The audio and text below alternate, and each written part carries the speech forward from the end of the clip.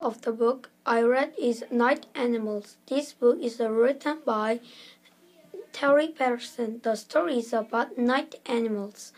Some animals are active at night when it is dark.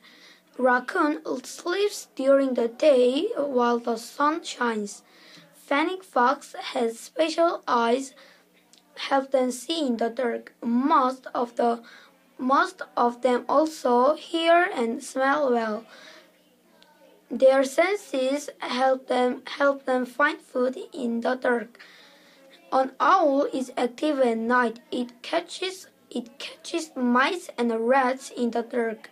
The bat is the bat is uh, is active at night. It eats fruit and nectar in the in the dark. The nurse shark is active at night. It it finds it finds crabs and clams in the dark. The the hermit crab is is active at night. It looks for little fish and worms in the in the dark. This tiger is active at night.